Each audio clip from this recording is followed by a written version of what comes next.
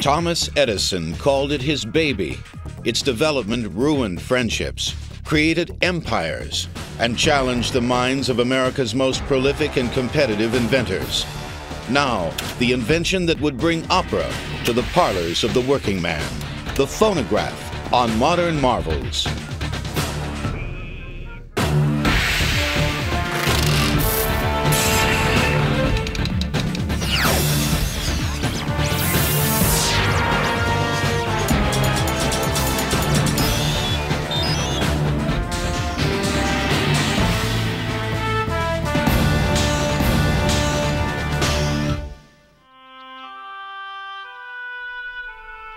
Milan, Ohio, 1847.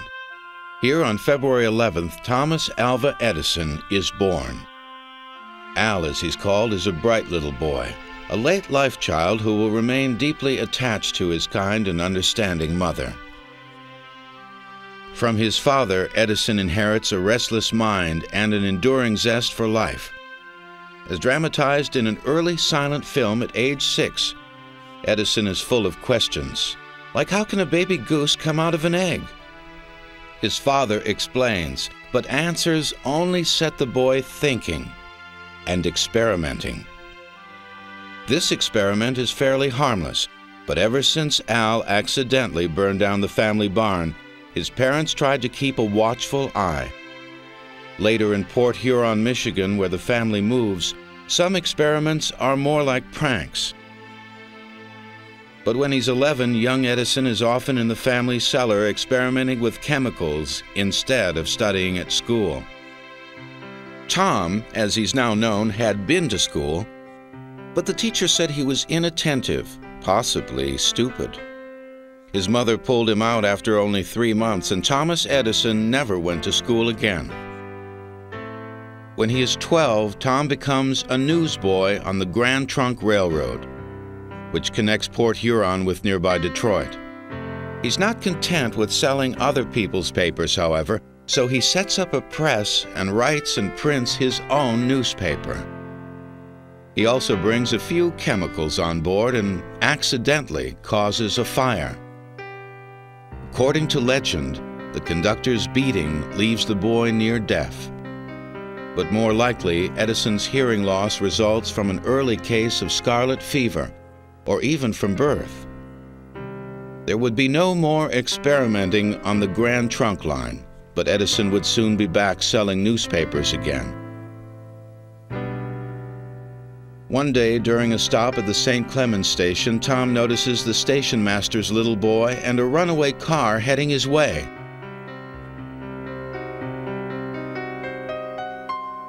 As a reward, the boy's father offers to teach Tom telegraphy unaware that he's been studying the subject and even built a few telegraphic instruments on his own. Tom eagerly accepts the offer and begins hands on training. It will prove to be the first and possibly the most important decision in his life.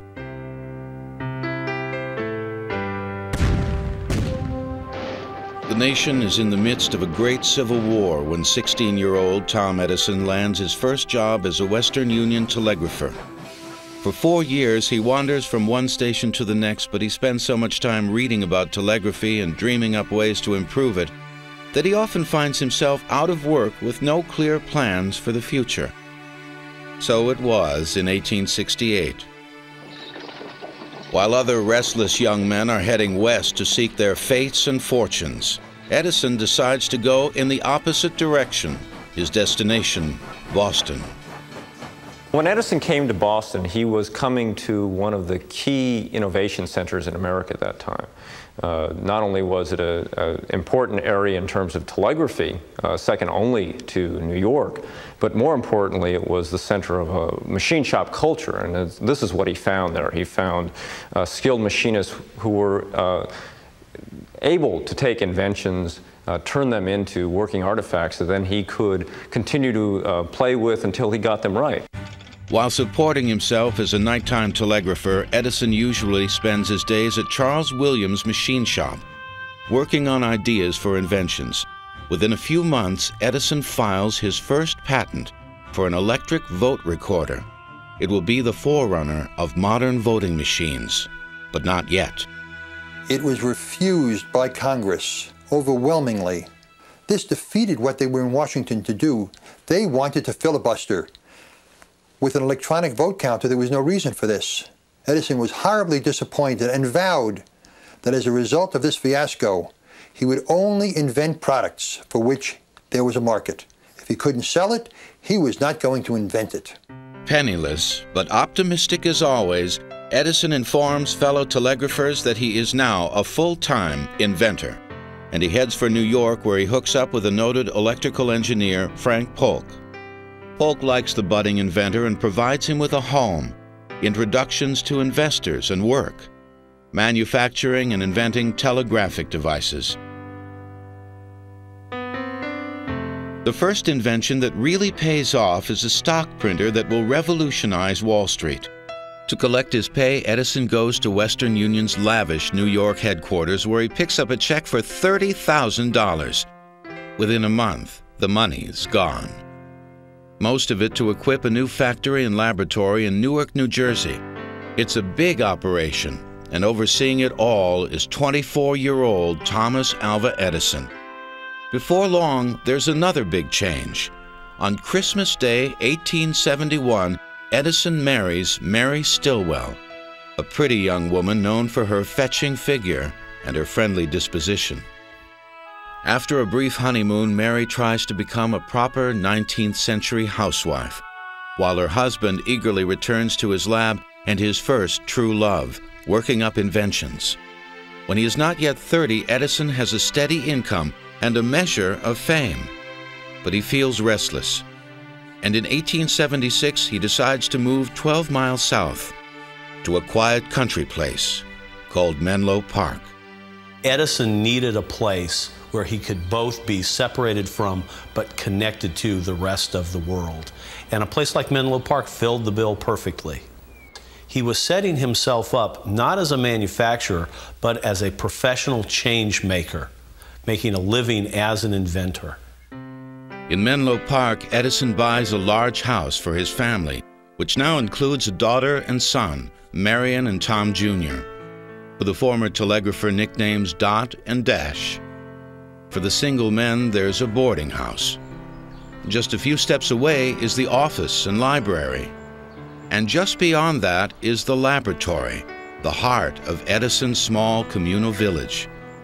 With generous financing, mostly from Western Union, and with the best supplies and tools at hand, Edison and his team set to work on several projects in the summer of 1876. One is a repeating telegraph, a device to record an incoming message on a disk, then repeat it to the next station down the line. At the same time, Edison's also working on a new transmitter for the telephone, recently invented by Alexander Graham Bell. Somewhat envious because Bell invented the telephone before he could, Edison now wants to solve Bell's main problem. The voices can barely be heard. On the night of July 18, 1877, while Edison and his boys are in the lab testing a diaphragm from the telephone transmitter, Edison makes a momentous discovery.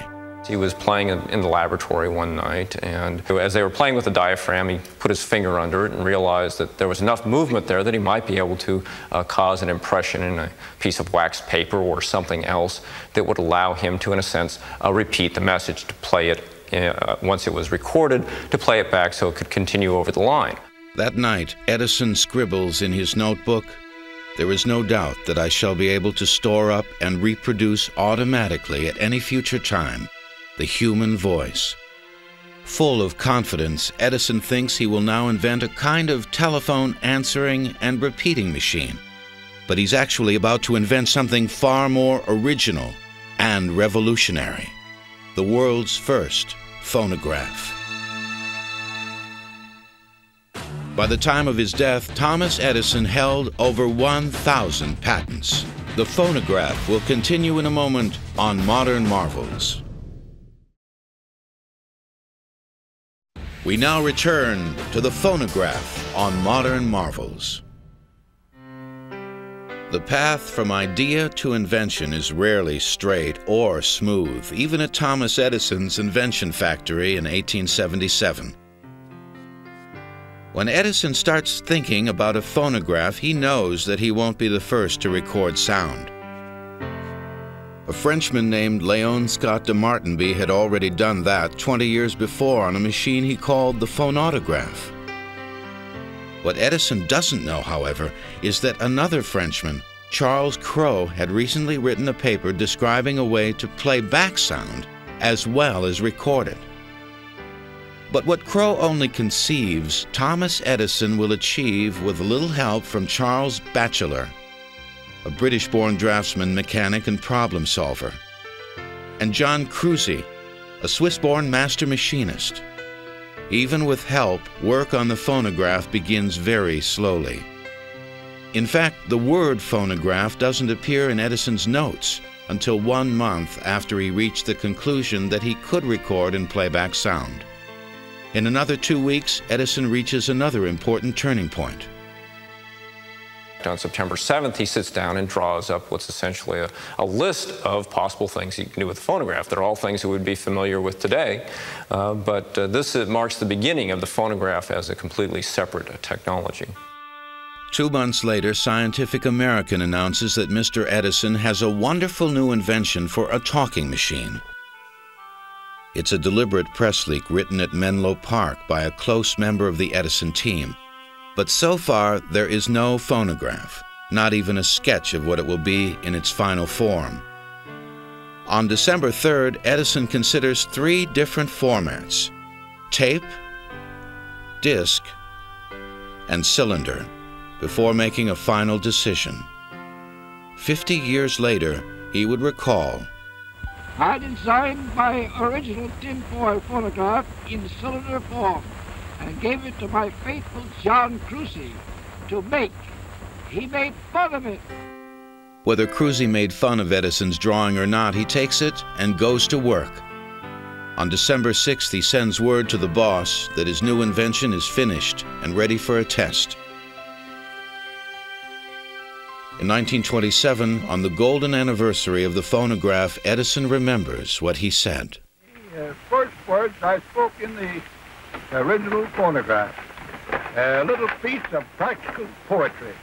Mary had a little lamb, its fleece was white as snow, and everywhere that Mary went, the lamb was sure to go.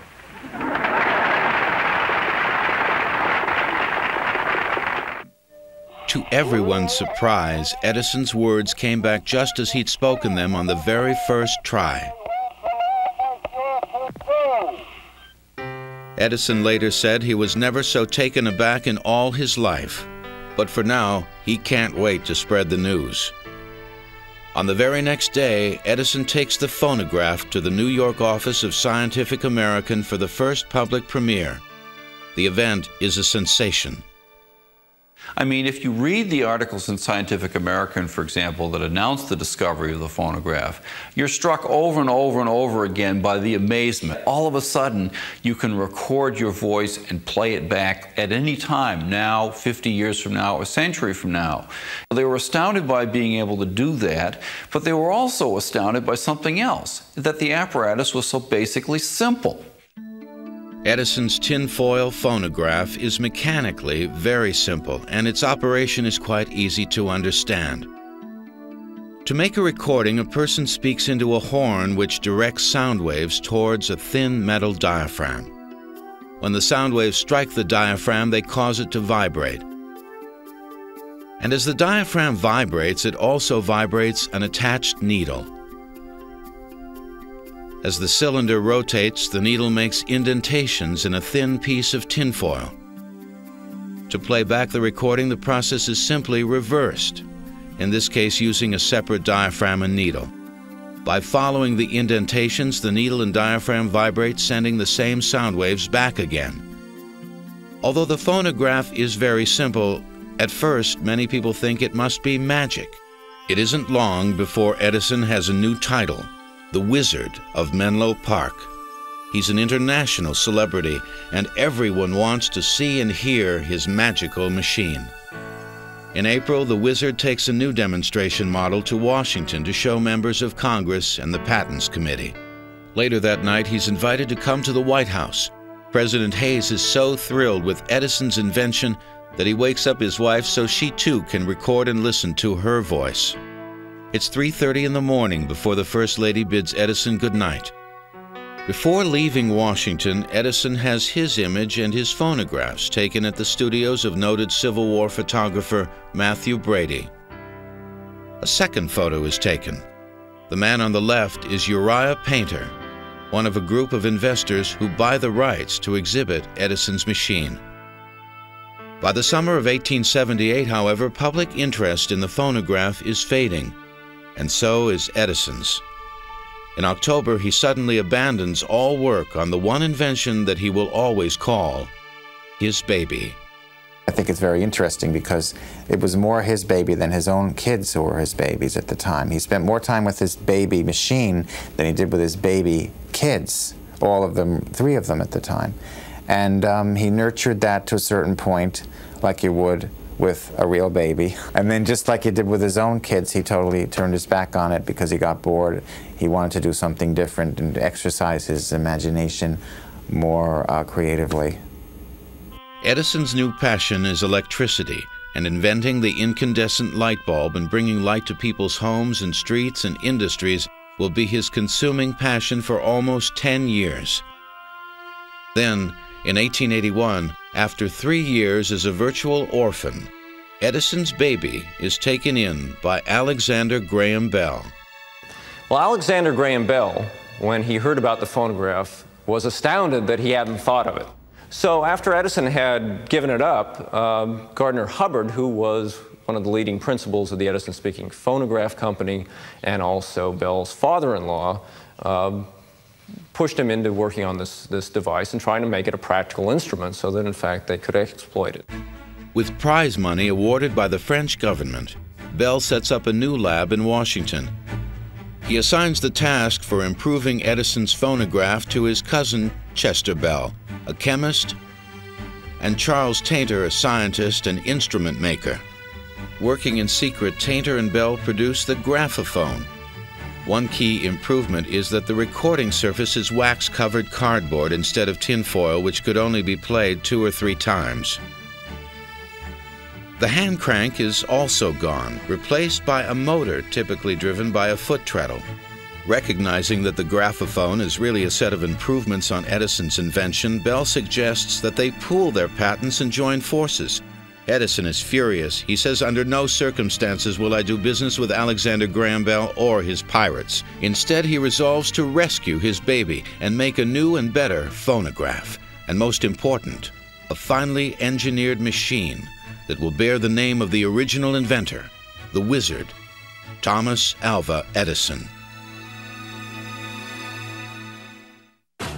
Edison's product name prevailed where his invention did not. The name phonograph referred only to his cylinder recording device, but Americans quickly adopted it as the name for all record players. The phonograph will continue in a moment on Modern Marvels. We now return to the phonograph on Modern Marvels. In 1886, when Thomas Edison decides to reclaim the phonograph, the one most associated with his name was still in the future. And when he starts thinking about his favorite invention, he's too involved with other matters to give it personal attention. One matter is Edison's decision to leave Menlo Park. He'd spent little time here over the past eight years while working on electricity, and he's already started building a much larger laboratory, office, and factory complex in West Orange, New Jersey. Another matter is that Edison has recently taken a new wife, 20 year old Mina Miller. His reason for remarrying is not divorce. His first wife, Mary, had suddenly died from a brain tumor almost two years before at age 29. Unlike Mary, Mina comes from a distinguished and wealthy family. So when the couple move into Glenmont, their elegant new estate in West Orange, Mina is as prepared as she can be to become the wife of a famous if often neglectful, husband. On his honeymoon, Edison scribbles a few ideas about improving the phonograph.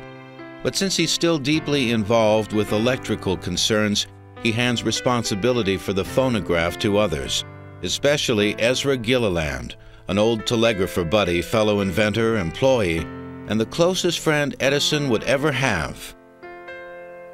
You know, they were known as Damon and Pythias. That's how close they really were. And they grew up together and they were friends in young adulthood, and Gilliland helped introduce Edison to his second wife, which is a very crucial thing. In fact, Edison and Gilliland were so close, they built side by side winter homes in Fort Myers, Florida. Edison drew up the plans. But to Gilliland's dismay, after working on the phonograph off and on for more than a year, in late 1887, Edison suddenly decides that he's taking control. While his friend quietly seethes, Edison throws himself full force into perfecting his baby. One reason for his decision is that the Bell Tainter graphophone has recently been introduced as a dictating machine and getting the kind of press that Edison loves.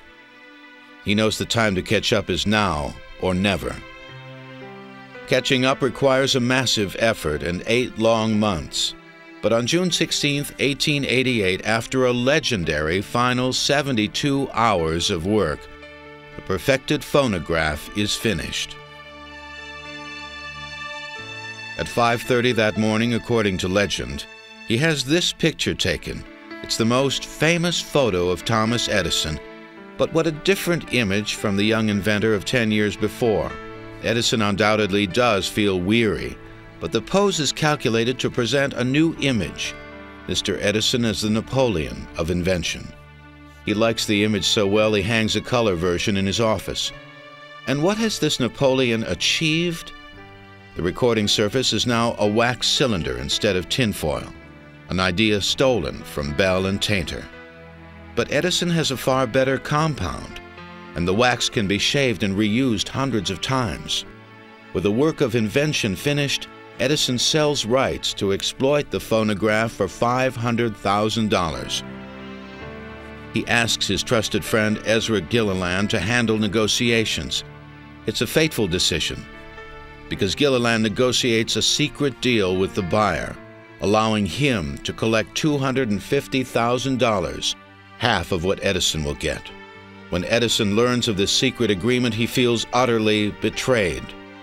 The friendship is over. While deeply hurt, Edison is resilient and optimistic about the future. He gears up to produce 200 phonographs a day. He thinks his invention will be mainly used as a dictating machine in offices. But his first big order is for something less practical tiny phonographs for talking dolls. With an imported bisque head and lifelike hair, the doll is quite beautiful. However, there are a few problems. The mechanism was really too fragile to be used inside a child's toy. The records were very soft, made of a brown wax material. Any kind of bumping or jarring would break the record, and the records were not replaceable by the doll owner. In addition, the sharp stylus that was used on the record would only allow one, two, three plays perhaps maximum before the stylus actually cut through the record and made the record unusable. Another problem is the quality of the recordings. Edison would later say that he found the voices of the little monsters exceedingly unpleasant to hear.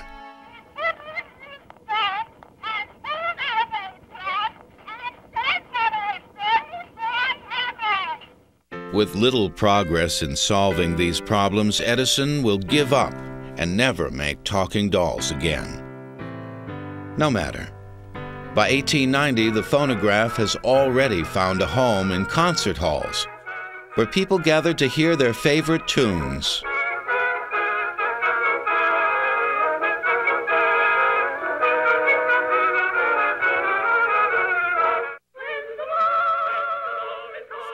Sing alongs were also popular.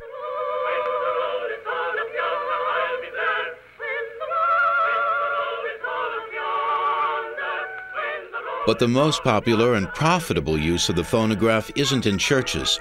It's in phonograph parlors and penny arcades, in hotel lobbies and train stations. By dropping a nickel into the slot and using the listening tubes, people can hear a rousing Sousa March, a Stephen Foster song, or a bit of 19th century humor. Oh,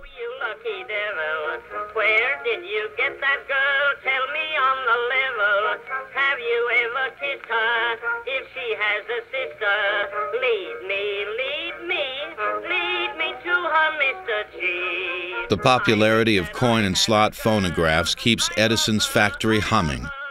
Coin machines also boost the fortunes of the Columbia Graphophone Company, for now Edison's only rival. And one message both companies repeatedly hear is make more records. The phonograph creates thousands of new jobs and gives birth to a new industry, music recording. But the process is unbelievably primitive. With no way yet to mass produce records, at first every cylinder is an original.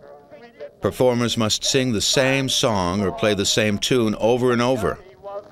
Sometimes it's possible to record on several machines, but what kind of records are being made?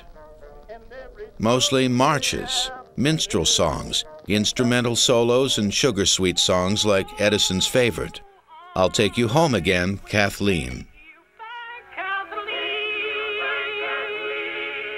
What you really have here is somebody with very, very traditional pedestrian, or shall we say, middle of the road tastes, that he believed this was what the rest of the American public had an obligation to uh, attend to because coming from Thomas Edison in his role as setting the tone, as it were, for what people should listen to in their homes. And if it was good enough for him, it was good enough for everybody else. In fact, in 1893, most phonographs are still in recital halls and penny arcades, and very few are in private homes. But the first home phonographs are not far away.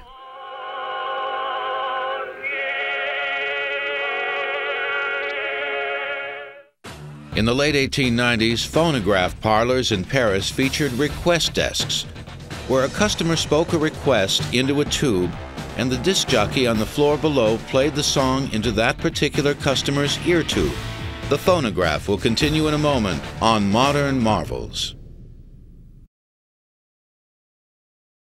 We now return to the phonograph on Modern Marvels.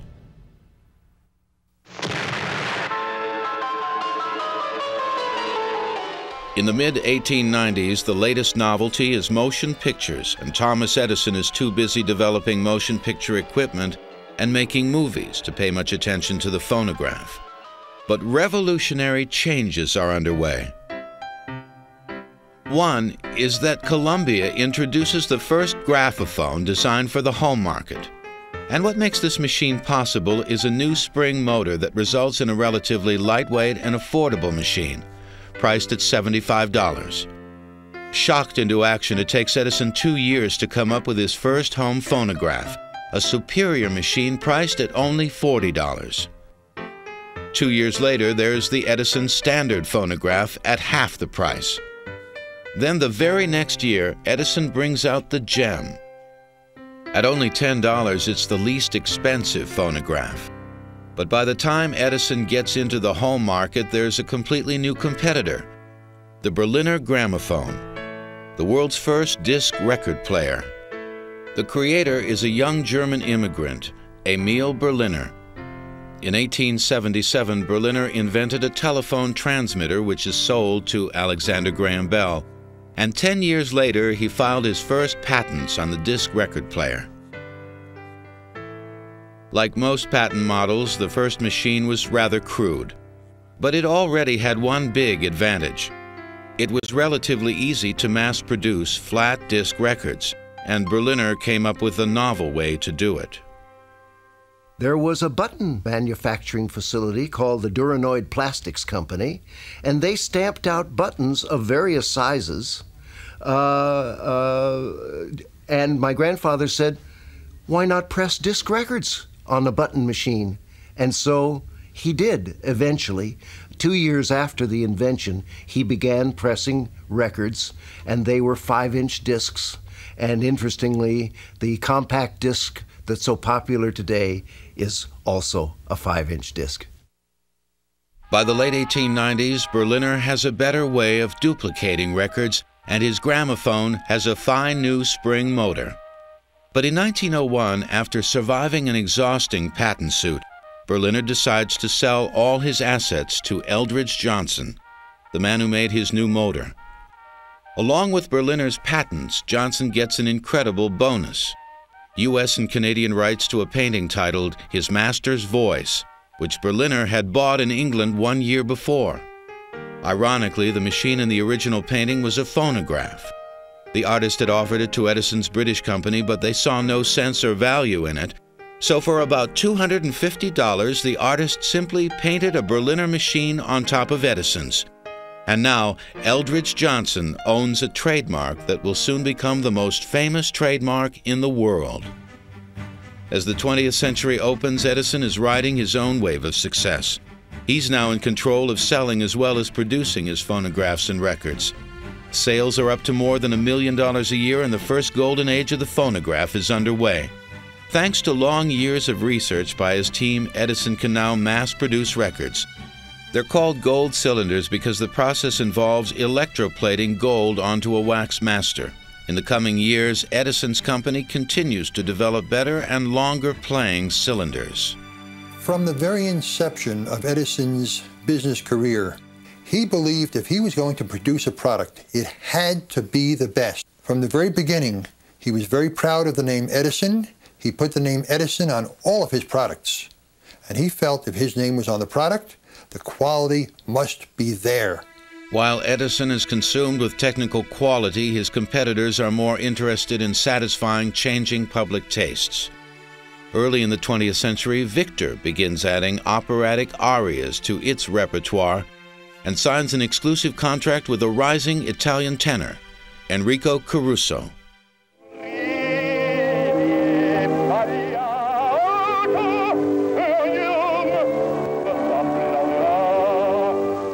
In 1906, the Victor Company makes another radical change. In the early 1900s, all of the phonographs had an external horn. It was a very large, very cumbersome, unwieldy affair. And housewives objected, number one, to the looks of these horns, number two, of the fact that they protruded into the room and people constantly bumped into them, and number three, they were horrible dust collectors. The Victor Talking Machine Company heard this complaint and they addressed it. They took the horn from outside the phonograph cabinet and placed it within the cabinet. So now it became part of a piece of furniture. We now had the first home entertainment system, the phonograph, the internal horn, and storage area for records. Although priced at $200, the Victrola is an instant hit with housewives and their husbands, and Edison has to respond. His answer is the Amberola, a very handsome machine, also $200. But it plays cylinders, and by 1910, when the first Amberolas go on sale, cylinders are on their way out even if Mr. Edison doesn't approve. Eventually, there's a greater and greater demand for discs. Although he believes that the recording technology of cylinder is superior, discs have a lot of advantages. They're easier to use, uh, they're easier to store, and so Edison, in fact, has to go and invent his own uh, disc record. To do so, Edison will be spending less time at home with his wife, Mina, and more and more time at the lab where his team has already begun work developing a disc machine and record. When Edison throws himself into the project, he often works around the clock. During the week of September 10th, for example, he puts in 111 hours and 48 minutes. A pretty heavy load when you consider that Thomas Edison is now 65 years old. As always, Edison's main interest is in the quality of the sound. But since he's deaf in one ear and can barely hear out of the other, judging sound quality poses quite a problem. Edison's solution is to sink his teeth into wood so that the sound can vibrate through his skull to his inner ear. In fact, the marks on the framework of this disc phonograph test model were made by Edison's teeth. In the end, Edison and his team produced the finest disc record diamond needle reproducer and playback machine of its day. In 1917, Edison has good reason to feel perky. Sales have reached an all time high, and the future looks rosy for Edison and his competitors. But what they don't know is that the first golden age of the phonograph is about to end. In 1915, the number one record of the year was I Didn't Raise My Boy to Be a Soldier. Modern Marvels will return.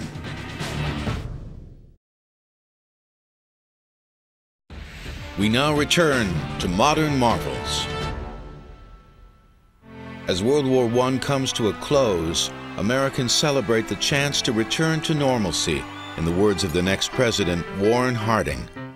But with new fads, fashions, and prohibition, life in the roaring 20s will hardly be normal.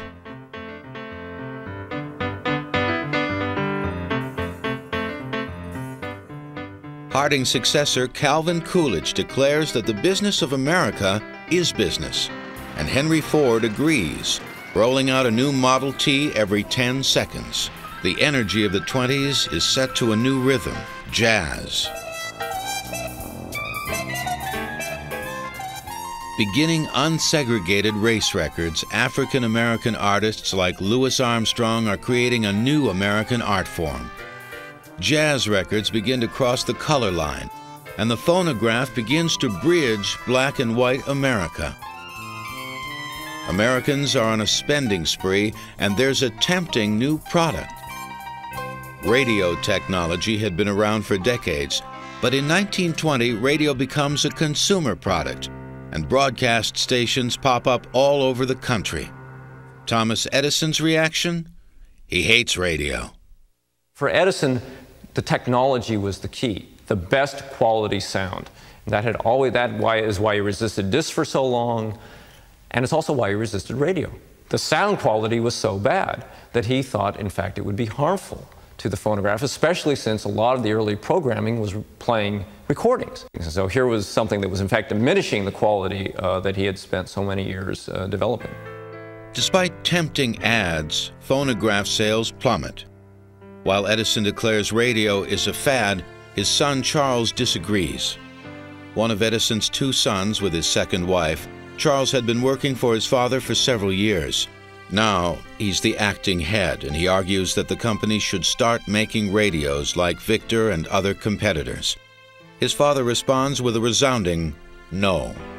Every single action that Charles Edison took in the purported role as head of this company, his father had to sign off on it. And he ended up writing a memoir called Out of the Shadow, which really explains this relationship having to do with domination versus emancipation, a classic father son struggle. The struggle continues and becomes more heated after 1925 when electronic recording is introduced. While Charles worries about the future, Edison is out and about soaking up praise as the great inventor and the most famous man in America. He also enjoys well publicized camping trips with his pals, Henry Ford and tire magnate Harvey Firestone. He doesn't seem to have a care in the world. Whenever Charles can get his father's ear, he continues asking if he can get into radio. In 1928, Edison finally gives in, saying, I'm telling you, it's no good, but if you want to be a damn fool, go ahead. By 1928, radio sales have jumped to more than $500 million a year, and phonograph sales are still falling. When Charles brings out the first Edison radio in January 1929, he has little hope that it will save the Edison Phonograph Company. Nine months later, while Edison is in Dearborn, Michigan with President Hoover for the 50th anniversary of the electric light bulb, Charles is in West Orange preparing layoff notices. On October 29th, he sends word to Edison distributors and the trade announcing that the Edison Phonograph Company is no longer in business. That very same day, the stock market crashes. News of the crash dominates the headlines. And not until nine days later do people learn that Thomas Edison will not be making phonographs or records again. By 1929, Edison had lived a full life. He knew it. He was by no means finished. There were things that he wanted to do. But he realized that he could not be the commander any longer. Happy? I'm sure he wasn't. But he was also realistic enough to understand that this was the end of the road. There was nothing he could do to reverse the course that the Edison companies were taking, and it was a matter of turning his back and walking away from it. The 20s had been hard for Edison and his competitors. And in the early 30s, some people thought all phonographs would end up in the junkyard or in the attic. But their predictions will soon be proven wrong. In 1934, prohibition comes to an end. Alcohol begins to flow again. And the jukebox makes a grand appearance. Swing is in, and it seems like everyone feels like dancing. By 1940, there are 350,000 jukeboxes. Record sales soar as fast and furious as jitterbug dancers. Then, in the late 40s, there's a major revolution launched by one of Thomas Edison's oldest competitors. Come 1948, the Columbia Company introduced one of the greatest innovations in sound recording. There they are. They came right back in and said, We're not defeated. We've got an invention of our own.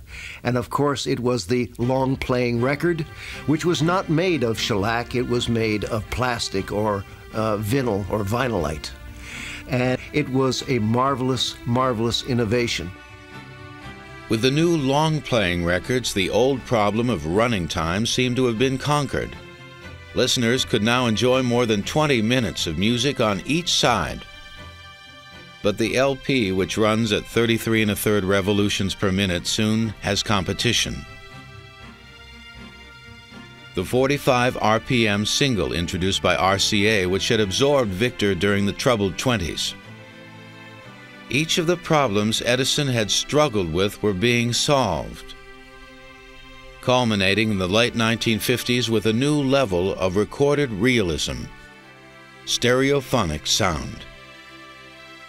Then in 1982, after more than 100 years of continual incremental improvements on Edison's phonograph, a truly new recording technology appears the digital compact disc.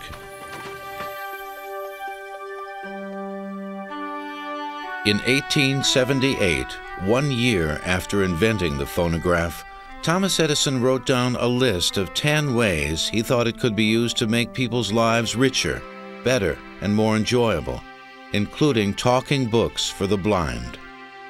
It was a dream, but the man was so far-sighted that in his own time he couldn't accomplish what he really wanted to do.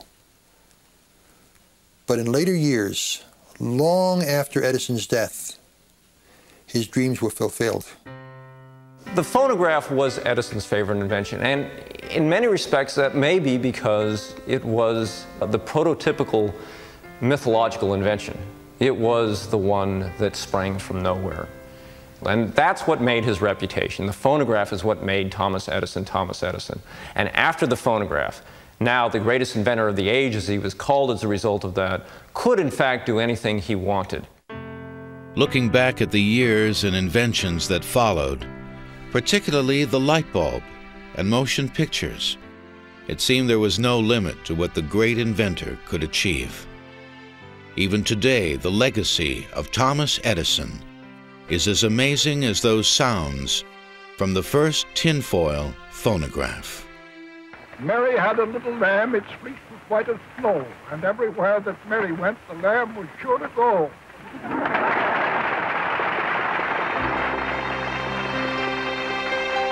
Edison and Gilliland were so close, they built side by side winter homes in Fort Myers, Florida. Edison drew up the plans. But to Gilliland's dismay, after working on the phonograph off and on for more than a year, in late 1887, Edison suddenly decides that he's taking control. While his friend quietly seethes, Edison throws himself full force into perfecting his baby. One reason for his decision is that the Bell Tainter graphophone has recently been introduced as a dictating machine and getting the kind of press that Edison loves. He knows the time to catch up is now or never. Catching up requires a massive effort and eight long months. But on June 16, 1888, after a legendary final 72 hours of work, the perfected phonograph is finished. At 5:30 that morning, according to legend, he has this picture taken. It's the most famous photo of Thomas Edison, but what a different image from the young inventor of 10 years before. Edison undoubtedly does feel weary, but the pose is calculated to present a new image. Mr. Edison is the Napoleon of invention. He likes the image so well he hangs a color version in his office. And what has this Napoleon achieved? The recording surface is now a wax cylinder instead of tinfoil, an idea stolen from Bell and Tainter. But Edison has a far better compound, and the wax can be shaved and reused hundreds of times. With the work of invention finished, Edison sells rights to exploit the phonograph for $500,000. He asks his trusted friend Ezra Gilliland to handle negotiations. It's a fateful decision because Gilliland negotiates a secret deal with the buyer, allowing him to collect $250,000, half of what Edison will get. When Edison learns of this secret agreement, he feels utterly betrayed. The friendship is over. While deeply hurt, Edison is resilient and optimistic about the future. He gears up to produce 200 phonographs a day. He thinks his invention will be mainly used as a dictating machine in offices. But his first big order is for something less practical tiny phonographs for talking dolls. With an imported bisque head and lifelike hair, the doll is quite beautiful. However, there are a few problems. The mechanism was really too fragile to be used inside a child's toy. The records were very soft, made of a brown wax material. Any kind of bumping or jarring would. Whenever Charles can get his father's ear, he continues asking if he can get into radio. In 1928, Edison finally gives in, saying, I'm telling you, it's no good. But if you want to be a damn fool, go ahead. By 1928, radio sales have jumped to more than $500 million a year, and phonograph sales are still falling. When Charles brings out the first Edison radio in January 1929, he has little hope that it will save the Edison Phonograph Company. Nine months later, while Edison is in Dearborn, Michigan with President Hoover for the 50th anniversary of the electric light bulb, Charles is in West Orange preparing layoff notices. On October 29th, he sends word to Edison distributors and the trade announcing that the Edison Phonograph Company is no longer in business. That very same day, the stock market crashes. News of the crash dominates the headlines. And not until nine days later do people learn that Thomas Edison will not be making phonographs or records again. By 1929, Edison had lived a full life. He knew it. He was by no means finished. There were things that he wanted to do. But he realized that he could not be the commander any longer. Happy? I'm sure he wasn't but he was also realistic enough to understand that this was the end of the road. There was nothing he could do to reverse the course that the Edison companies were taking, and it was a matter of turning his back and walking away from it. The 20s had been hard for Edison and his competitors. And in the early 30s, some people thought all phonographs would end up in the junkyard or in the attic. But their predictions will soon be proven wrong. In 1934, prohibition comes to an end. Alcohol begins to flow again. And the jukebox makes a grand appearance. Swing is in, and it seems like everyone feels like dancing. By 1940, there are 350,000 jukeboxes. Record sales soar as fast and furious as jitterbug dancers. Then, in the late 40s, there's a major revolution launched by one of Thomas Edison's oldest competitors.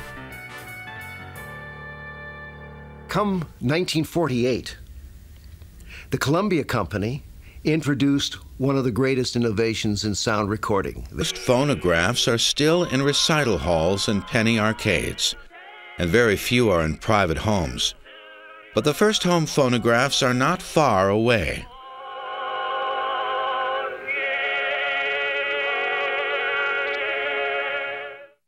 In the late 1890s, phonograph parlors in Paris featured request desks, where a customer spoke a request into a tube and the disc jockey on the floor below played the song into that particular customer's ear tube. The phonograph will continue in a moment on Modern Marvels. We now return to the phonograph on Modern Marvels.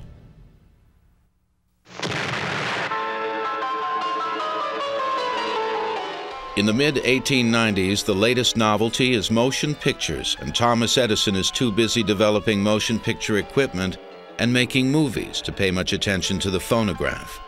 But revolutionary changes are underway. One is that Columbia introduces the first graphophone designed for the home market. And what makes this machine possible is a new spring motor that results in a relatively lightweight and affordable machine priced at $75. Shocked into action, it takes Edison two years to come up with his first home phonograph, a superior machine priced at only $40. Two years later, there's the Edison Standard phonograph at half the price. Then the very next year, Edison brings out the Gem. At only $10, it's the least expensive phonograph. But by the time Edison gets into the home market, there's a completely new competitor the Berliner Gramophone, the world's first disc record player. The creator is a young German immigrant, Emil Berliner. In 1877, Berliner invented a telephone transmitter which is sold to Alexander Graham Bell, and 10 years later he filed his first patents on the disc record player. Like most patent models, the first machine was rather crude.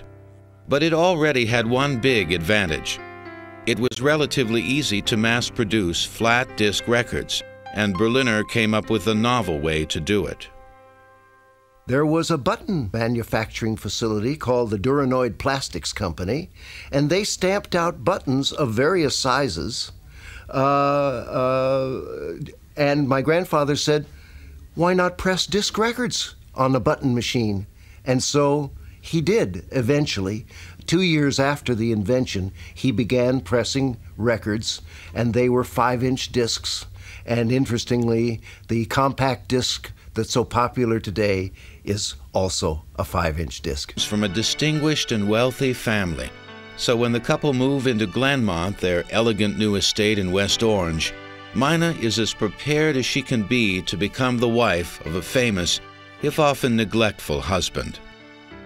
On his honeymoon, Edison scribbles a few ideas about improving the phonograph. But since he's still deeply involved with electrical concerns, he hands responsibility for the phonograph to others, especially Ezra Gilliland, an old telegrapher buddy, fellow inventor, employee, and the closest friend Edison would ever have. You know, they were known as Damon and Pythias. That's how close they really were and they grew up together and they were friends in young adulthood and Gilliland helped introduce Edison to his second wife, which is a very crucial thing. In fact, Edison and Gilliland were so close, they built side by side winter homes in Fort Myers, Florida. Edison drew up the plans. But to Gilliland's dismay, after working on the phonograph off and on for more than a year, in late 1887, Edison suddenly decides that he's taking control. While his friend quietly seethes, Edison throws himself full force into perfecting his baby. One reason for his decision is that the Bell Tainter graphophone has recently been introduced as a dictating machine and getting the kind of press that Edison loves. He knows the time to catch up is now or never. Catching up requires a massive effort and eight long months. But on June 16, 1888, after a legendary final 72 hours of work, the perfected phonograph is finished. At 5:30 that morning, according to legend, he has this picture taken. It's the most famous photo of Thomas Edison, but what a different image from the young inventor of 10 years before. Edison undoubtedly does feel weary, but the pose is calculated to present a new image. Mr. Edison is the Napoleon of invention. He likes the image so well he hangs a color version in his office. And what has this Napoleon achieved?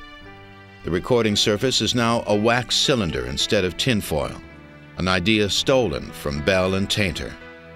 But Edison has a far better compound, and the wax can be shaved and reused hundreds of times. With the work of invention finished, Edison sells rights to exploit the phonograph for $500,000. He asks his trusted friend Ezra Gilliland to handle negotiations.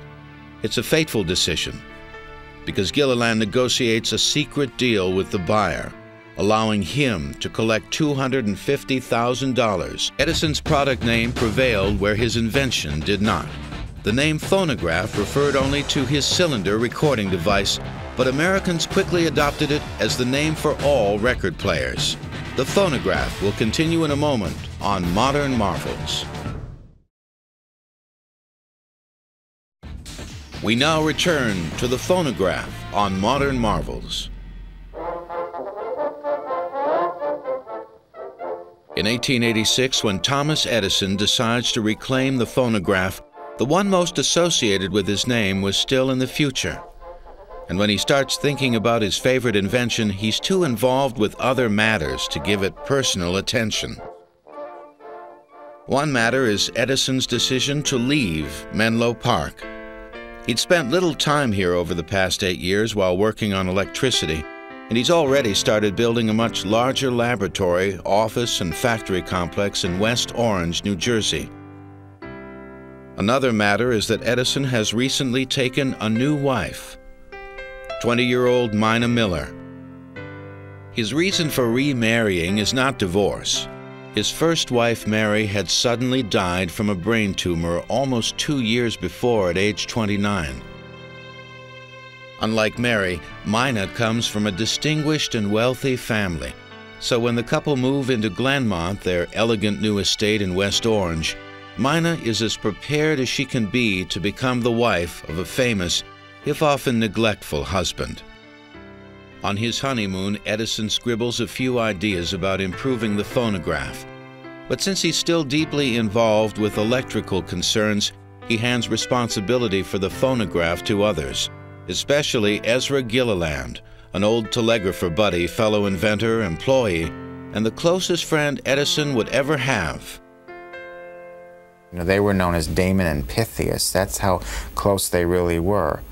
And they grew up together and they were friends in young adulthood, and Gilliland helped introduce Edison to his second wife, which is a very crucial thing. In fact, Edison and Gilliland were so close, they built side by side winter homes in Fort Myers, Florida. Edison drew up the plans. But to Gilliland's dismay, after working on the phonograph off and on for more than a year, in late 1887, Edison suddenly decides that he's taking control. While his friend quietly seethes, Edison throws himself full force into perfecting his baby. One reason for his decision is that the Bell Tainter graphophone has recently been introduced as a dictating machine and getting the kind of press that Edison loves. He knows the time to catch up is now or never to see and hear his magical machine. In April, the Wizard takes a new demonstration model to Washington to show members of Congress and the Patents Committee. Later that night, he's invited to come to the White House. President Hayes is so thrilled with Edison's invention that he wakes up his wife so she too can record and listen to her voice. It's 3:30 in the morning before the First Lady bids Edison goodnight. Before leaving Washington, Edison has his image and his phonographs taken at the studios of noted Civil War photographer Mathew Brady. A second photo is taken. The man on the left is Uriah Painter, one of a group of investors who buy the rights to exhibit Edison's machine. By the summer of 1878, however, public interest in the phonograph is fading, and so is Edison's. In October, he suddenly abandons all work on the one invention that he will always call his baby. I think it's very interesting because it was more his baby than his own kids who were his babies at the time. He spent more time with his baby machine than he did with his baby kids, all of them, three of them at the time. And um, he nurtured that to a certain point, like you would with a real baby. And then just like he did with his own kids, he totally turned his back on it because he got bored. He wanted to do something different and exercise his imagination more uh, creatively. Edison's new passion is electricity, and inventing the incandescent light bulb and bringing light to people's homes and streets and industries will be his consuming passion for almost 10 years. Then, in 1881, after three years as a virtual orphan, Edison's baby is taken in by Alexander Graham Bell. Well, Alexander Graham Bell, when he heard about the phonograph, was astounded that he hadn't thought of it. So after Edison had given it up, um, Gardner Hubbard, who was one of the leading principals of the Edison Speaking Phonograph Company and also Bell's father-in-law, um, pushed him into working on this, this device and trying to make it a practical instrument so that in fact they could exploit it. With prize money awarded by the French government, Bell sets up a new lab in Washington. He assigns the task for improving Edison's phonograph to his cousin, Chester Bell, a chemist, and Charles Tainter, a scientist and instrument maker. Working in secret, Tainter and Bell produced the graphophone, one key improvement is that the recording surface is wax covered cardboard instead of tinfoil, which could only be played two or three times. The hand crank is also gone, replaced by a motor typically driven by a foot treadle. Recognizing that the graphophone is really a set of improvements on Edison's invention, Bell suggests that they pool their. And the jukebox makes a grand appearance. Swing is in, and it seems like everyone feels like dancing. By 1940, there are 350,000 jukeboxes. Record sales soar as fast and furious as jitterbug dancers. Then, in the late 40s, there's a major revolution launched by one of Thomas Edison's oldest competitors. Come 1948, the Columbia Company introduced one of the greatest innovations in sound recording. There they are. They came right back in and said, We're not defeated. We've got an invention of our own. And of course, it was the long playing record, which was not made of shellac, it was made of plastic or uh, vinyl or vinylite. And it was a marvelous, marvelous innovation. With the new long playing records, the old problem of running time seemed to have been conquered. Listeners could now enjoy more than 20 minutes of music on each side. But the LP, which runs at 33 and a third revolutions per minute, soon has competition. The 45 RPM single introduced by RCA, which had absorbed Victor during the troubled 20s. Each of the problems Edison had struggled with were being solved, culminating in the late 1950s with a new level of recorded realism stereophonic sound.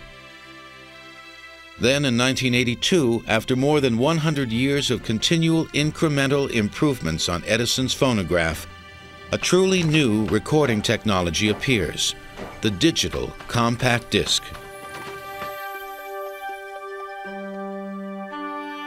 In 1878, one year after inventing the phonograph, Thomas Edison wrote down a list of 10 ways he thought it could be used to make people's lives richer better and more enjoyable, including talking books for the blind. It was a dream, but the man was so far-sighted that in his own time, he couldn't accomplish what he really wanted to do. But in later years, long after Edison's death, his dreams were fulfilled.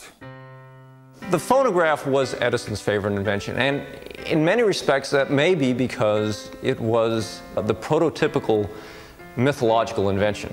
It was the one that sprang from nowhere. And that's what made his reputation. The phonograph is what made Thomas Edison Thomas Edison. And after the phonograph, now the greatest inventor of the age, as he was called as a result of that. Inventor, the wizard, Thomas Alva Edison.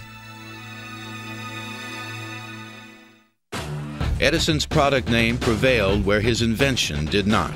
The name phonograph referred only to his cylinder recording device, but Americans quickly adopted it as the name for all record players. The phonograph will continue in a moment on Modern Marvels. We now return to the phonograph on Modern Marvels. In 1886, when Thomas Edison decides to reclaim the phonograph, the one most associated with his name was still in the future. And when he starts thinking about his favorite invention, he's too involved with other matters to give it personal attention. One matter is Edison's decision to leave Menlo Park. He'd spent little time here over the past eight years while working on electricity, and he's already started building a much larger laboratory, office, and factory complex in West Orange, New Jersey. Another matter is that Edison has recently taken a new wife, 20 year old Mina Miller. His reason for remarrying is not divorce. His first wife, Mary, had suddenly died from a brain tumor almost two years before at age 29. Unlike Mary, Mina comes from a distinguished and wealthy family. So when the couple move into Glenmont, their elegant new estate in West Orange, Mina is as prepared as she can be to become the wife of a famous, if often neglectful, husband. On his honeymoon, Edison scribbles a few ideas about improving the phonograph. But since he's still deeply involved with electrical concerns, he hands responsibility for the phonograph to others especially Ezra Gilliland, an old telegrapher buddy, fellow inventor, employee, and the closest friend Edison would ever have. You know, they were known as Damon and Pythias. That's how close they really were. And they grew up together and they were friends in young adulthood, and Gilliland helped introduce Edison to his second wife, which is a very crucial thing.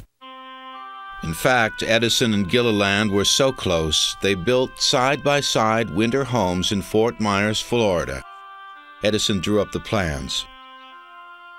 But to Gilliland's dismay, after working on the phonograph off and on for more than a year, in late 1887, Edison suddenly decides that he's taking control. While his friend quietly seethes, Edison throws himself full force into perfecting his baby.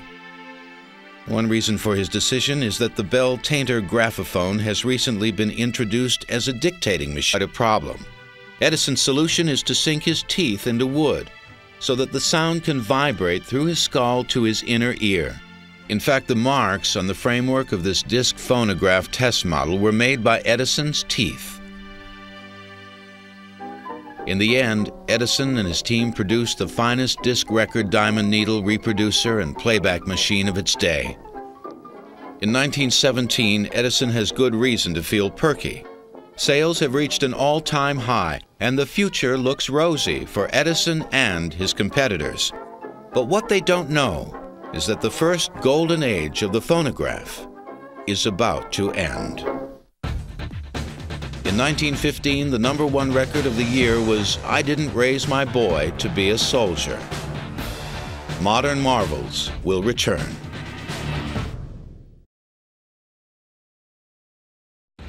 We now return to modern marvels. As World War I comes to a close, Americans celebrate the chance to return to normalcy, in the words of the next president, Warren Harding. But with new fads, fashions, and prohibition, life in the roaring 20s will hardly be normal.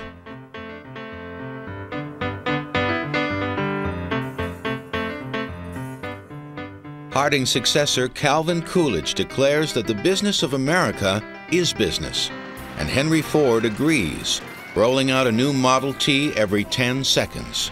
The energy of the 20s is set to a new rhythm jazz. Beginning unsegregated race records, African American artists like Louis Armstrong are creating a new American art form. Jazz records begin to cross the color line, and the phonograph begins to bridge black and white America. Americans are on a spending spree, and there's a tempting new product. Radio technology had been around for decades, but in 1920, radio becomes a consumer product and broadcast stations pop up all over the country. Thomas Edison's reaction? He hates radio. For Edison, the technology was the key, the best quality sound. That had always that why is why he resisted discs for so long, and it's also why he resisted radio. The sound quality was so bad that he thought, in fact, it would be harmful to the phonograph, especially since a lot of the early programming was playing recordings. So here was something that was in fact diminishing the quality uh, that he had spent so many years uh, developing. Despite tempting ads, phonograph sales plummet. While Edison declares radio is a fad, his son Charles disagrees. One of Edison's two sons with his second wife, Night, Edison scribbles in his notebook, there is no doubt that I shall be able to store up and reproduce automatically at any future time the human voice. Full of confidence, Edison thinks he will now invent a kind of telephone answering and repeating machine. But he's actually about to invent something far more original and revolutionary the world's first phonograph. By the time of his death, Thomas Edison held over 1,000 patents. The phonograph will continue in a moment on Modern Marvels. We now return to the phonograph on Modern Marvels. The path from idea to invention is rarely straight or smooth, even at Thomas Edison's invention factory in 1877. When Edison starts thinking about a phonograph, he knows that he won't be the first to record sound. A Frenchman named Léon Scott de Martinville had already done that 20 years before on a machine he called the phonautograph. What Edison doesn't know, however, is that another Frenchman, Charles Cros, had recently written a paper describing a way to play back sound as well as record it. But what Cros only conceives, Thomas Edison will achieve with a little help from Charles Batchelor, a British born draftsman, mechanic, and problem solver, and John Kruesi, a Swiss born master machinist. Even with help, work on the phonograph begins very slowly. In fact, the word phonograph doesn't appear in Edison's notes until one month after he reached the conclusion that he could record and playback sound. In another two weeks, Edison reaches another important turning point. On September 7th, he sits down and draws up what's essentially a, a list of possible things he can do with the phonograph. They're all things that we'd be familiar with today, uh, but uh, this uh, marks the beginning of the phonograph as a completely separate uh, technology. Two months later, Scientific American announces that Mr. Edison has a wonderful new invention for a talking machine. It's a deliberate press leak written at Menlo Park by a close member of the Edison team. But so far, there is no phonograph, not even a sketch of what it will be in its final form. On December 3rd, Edison considers three different formats tape, disc, and cylinder before making a final decision. Fifty years later, he would recall I designed my original tinfoil phonograph in cylinder form and gave it to my faithful John